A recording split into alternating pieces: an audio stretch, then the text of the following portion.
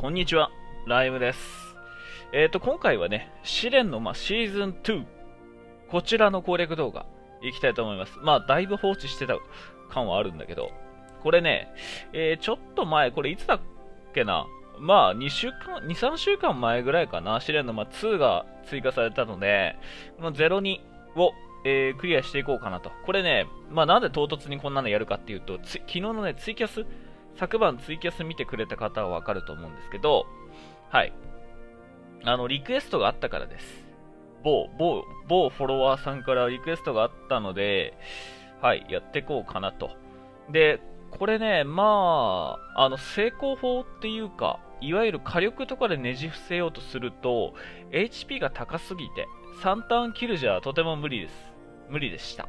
ので、えー、ここは多分ね、まあ、耐久でクリアするのが、まあ、普通というか、みんな多分耐久でやってると思うんだけど、はい、耐久デッキです。で、ノーコンクリアなので、2ターンクリアとか3ターン以内クリアとかではないので、ノーコンでクリアさえできればいいので、まあ、死ななければ負けないというクエストですね。はい。あの、なまあ、なんだか昔の、あのコロシアムだったり、昔のハデスカップを思い出すけど、はい、耐久です。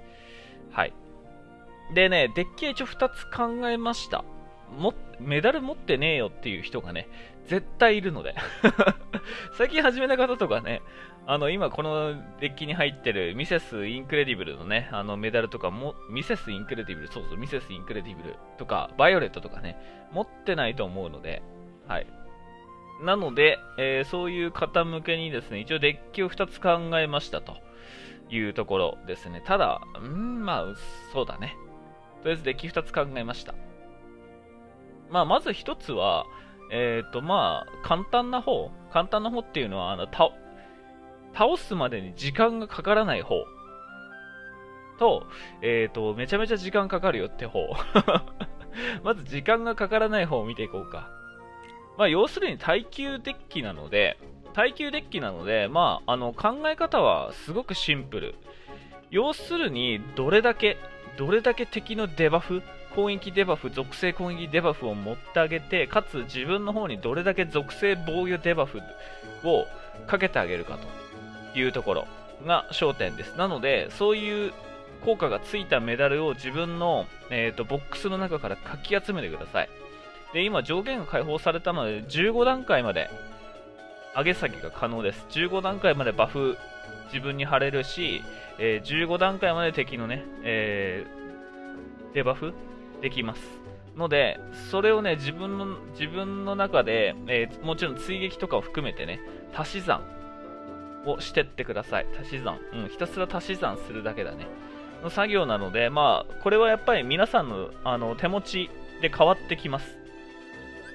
例えばですね、絞り込み結構便利なんで、これ使うといいと思うんですけど、これね、アビリティ種類ってところで、えー、えー、と、この、下がってる、矢印が下になってるのを、えー、絞り込みでやると便利。攻撃、攻撃デバフ、自分のボックスで誰が持ってるかなって言ったところに、この攻撃デバフのボタンポンと押して、OK すると、これ攻撃デバフ一覧が並ぶんで、こんな感じで。はい。こうやってそうとすれば、まあ、おのずと、で、自分のボックスの中から、えー、まあ、あと本当、足し算していくだけです。なるべく15段階に近づけるように足し算していくだけ。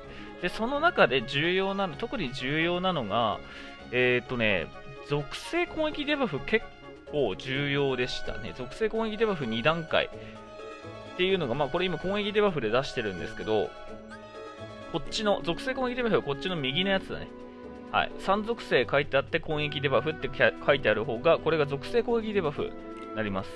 はい、これが結構重要でしたね。まあだからこの中で一番その使いやすかったのは、え、ー、とやっぱカイリー、カイリシオン EX カイが一番使いやすかったかな。はい。これが一応攻撃バフとかも兼ねて、かつ、え、ー、と属性攻撃デバフも入ってるというところなんで、これが使いやすい。で、イエンツォとかね、イエンツォとかはちょっとあの、全属性攻撃デバフではないんですよ、これ。マジック属性デバフなので、まあ、攻撃デバフ自体はあるんですけど、イエンツォ自体は、まあ、あくまで攻撃デバフとして使うような感じですね。まあ、イエンツォに関しては、その、2つ目のデッキで使いますけど、はい。まあ、基本的には、えー、属性攻撃デバフに関しては、えっ、ー、と、インクレディブルかな？ミセスインクレディブルだね。ミセスインクレディブルもしくは先ほどのシオン EX 回もしくはカイリ EX 回あたりを使うのがまあベターかなというところですね。で、属性防御バフ。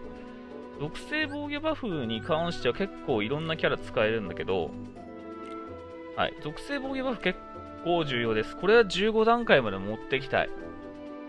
はい。15段階までもう、これ、メガラは何だ？あ、ヘラクレスが確かスピード属性なんで、次のやつでヘラクレス使うんですけど、はい。で、まあ、属性防御バフになると結構いろんなキャラが使えるので、もうこの辺は皆さんのね、手持ちで結構変わってくるところでしょうけど、まあ、やっぱこの辺で、この中で一番やっぱ未だに優秀なのがやっぱこのコンビなんですよね。バイオレットとミセス・インクレディブル。バイオレットすごいんで、これ4ターンの間、属性防御バフ4段階っていうね。4ターン持続するんで、要するに毎ターン使うと、まあ、16段階まで上げることができると。1人で。これがすごいんですよ。はい。まあ、あのー、ラスリブとかあっても3ターンまでしか耐えれないので、まあ、現実的にそこまで4ターン行くまでに整えないとならないので、これコピー使って、えー、やる方が確実かな。はい。なのでこ、ここに波根入れて、まあ、コピーすると。これ、追撃である必要は特にないな。追撃である必要は特にないはず。ただの波根使いますけど、これ追撃である必要はない。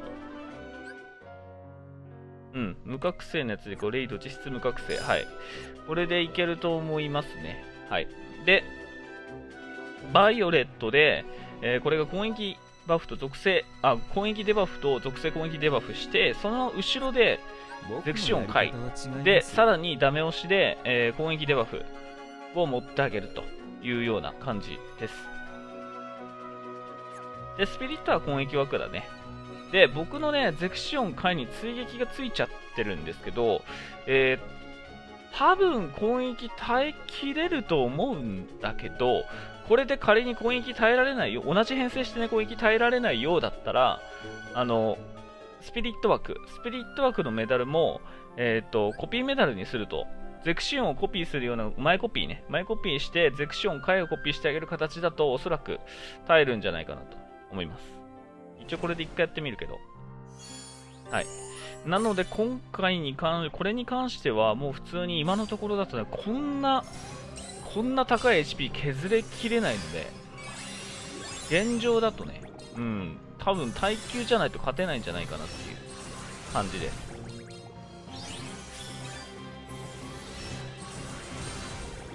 まあさすがにこれ結構時間かかるんで、倒すまではやりませんけど、まあダメージは攻撃を耐えられるってとこだけ見せればね、あとはもうひたすら画面、まあ見て、見てても見てなくても、オートで勝てるんで、あと放置してもらえれば勝てます、オートの耐久は。うん。これね、SB 強化しててもこんだけしか削れないから、ね、一発で。1ターン目は耐えるかな、これ。耐えたね。耐えた。耐えた。耐えたけどギリギリだね。耐えたけどギリギリ。これがね、あの、本番は2ターン目からですね。あの、この、バイオレットとかの属性防御バフがマックスになる2ターン目以降なので、はい。こっからです。こっから攻撃を耐えるようになると思うので。僕のやり方は違いますよ僕のやり方は違いますよ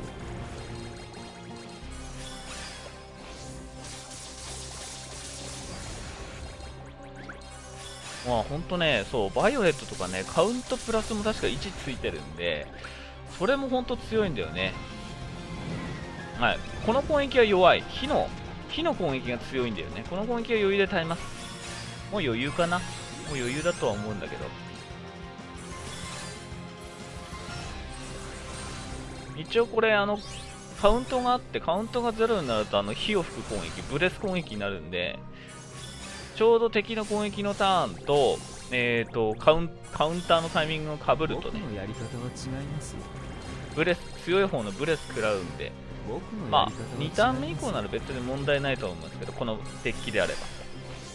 うん、ちゃんとねバフデバフと、えーこちらねバフを持ってあげれば全然耐えるとは思うんですけど火のブレスやってほしいな。さっきギリギリだ。あー違うんだよなブレスの方やってくんないかな。ブレスの方耐えたら即リタイアして終わらせるんだけどブレスの方来てくれないかな。さあブレス来い。マジで。あ来た来た来た。これを耐えればはい。よ耐えましたね。これで大丈夫でしょう。はい。HP 今2000くらい残ってたんでまあこんな感じで耐えます。このまんまあのひたすらオートで放置しておくだけです。まずこのデッキで勝てるとはいただ今の感じだとやっぱりあれだねあのゼクシオン回に追撃がついてない方はえっ、と今僕がキアとナンバー19が入ってる箇所に前コピー入れないとダメかもしれない。ちょっと怪しかった今。まあ、これゼクシオンと逆にして後ろコピーでもいいんですけどね。はい。で、これがまあ1本目のデッキと。で、2本目のデッキこれ。これは、えっ、と、ミセスインクレディブルとか、えーバイオレット持ってない人用の編成で、なるべく結構最新のメダルが多いっていう、へゼクシオン回以外はね、最新のえーメダルが多いかなっていう感じにしてます。うん。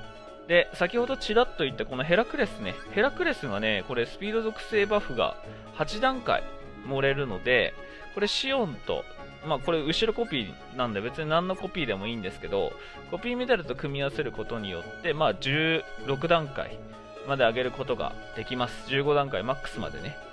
で、イエンツォね、さっき言った、はい、イエンツォ、これが攻撃デバフ8段階にできて、で、先ほども使ったゼクシオン、はい、これもやっぱ攻撃デバフ、要因として使います。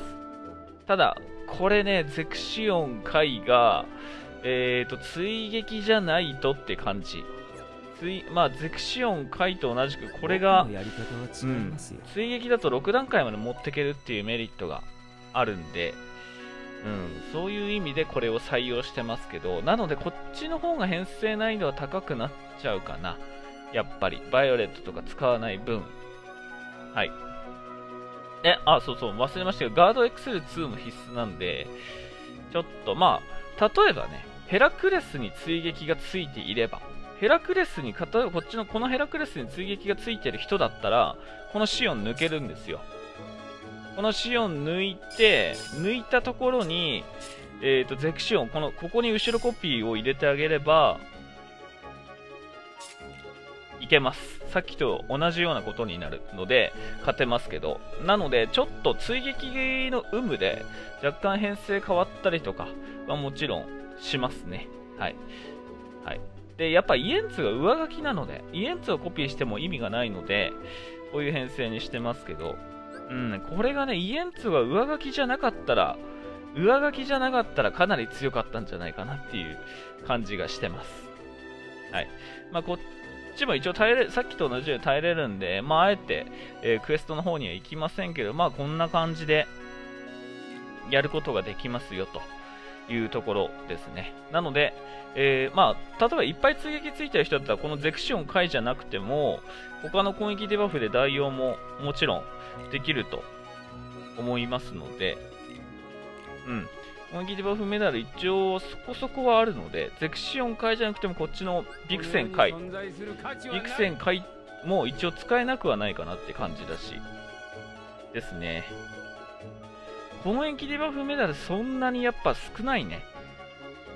はい、防御、属性防御バフと比べるとだいぶ少なくて選択肢自体は少ないので、まあ、厳しいところはあるかもしれませんけど、はい、まあ、今勝てなくてもね、試練のまま常設されてるんで、仮に今勝てなくても、その、そのうち？